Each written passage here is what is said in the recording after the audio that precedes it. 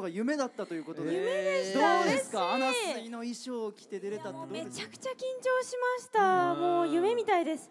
でも EXIT さん、うん。私違う TGC にはめちゃくちゃ精通してたんですよ。違う TGC、はい。と言いますと猪作さん。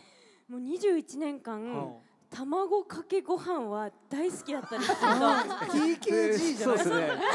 卵がけご飯。最後ご飯なんですよ。卵がけ小判ご飯になってるんで。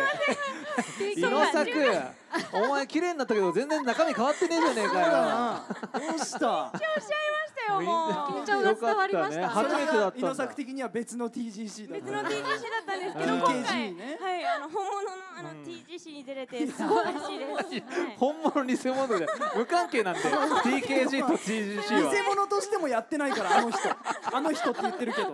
別物でした。TKG さん関係ないんでね。大変失礼いたしました TKG さん。TKG さんはいいでしょ。卵かけご飯ですから。あー